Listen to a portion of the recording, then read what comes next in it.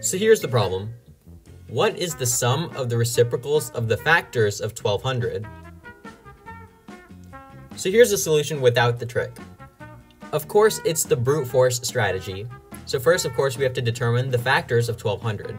And we can do this by using a t-chart. So here I'll draw my t-chart with 1200 on the top. Then on the left side, I'll start listing out factors which I think are factors of 1200 from least to greatest.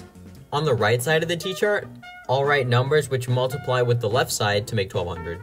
So for example, I have 1, 1200, 2 and 600, 3 and 400, 4 and 300. One hour later. 25 and 48, and 30 and 40.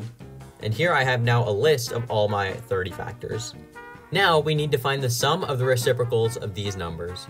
So we have 1 over 1 plus 1 over 2 plus 1 over 3 plus 1 over 4 so on until 1 over 400 plus 1 over 600 plus 1 over 1200. And really, the only thing I have to say for this is good luck. There's actually so many things that could go wrong. Whether you like add something incorrectly or you like forget a number, it's like the possibilities are endless. And here I will reveal the answer after I show the solution with the trick. So now it's time for the solution with the trick. Of course, in our head when we see this, we think of 1 over 1 plus 1 over 2 plus 1 over 3, similar to the solution without the trick. But if you notice, all of these could form a common denominator with 1200, since they're factors. And to take it one step further, when we do the common denominators of these, we get 1200 over 1200, 600 over 1200, 400 over 1200, and then more. And these are all also factors, 1200, 600, and 400. So if you notice from 1 over 1 plus 1 over 2 plus 1 over 3, where we're going down on the left side, now we're actually going down on the right side of the t-chart. We're kind of working backwards.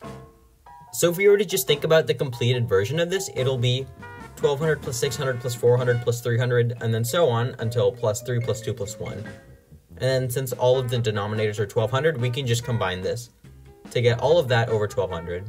And the all of that I just said, those are actually all the factors of 1200. So now if you notice, we have to just sum up the factors of 1200, and there's actually a formula for that. So here I'll quickly use the sum of the factors formula, but to get a deeper understanding of this formula, I will link down below in the description an article about this topic. So prime factorizing 1200, this is 2 to the power of 4 times 3 times 5 squared.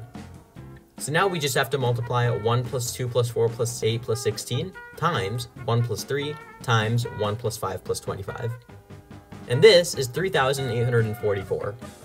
And then of course remembering to divide by 1200, this simplifies to 961 over 300. And this is the correct answer. We can now consider this problem solved.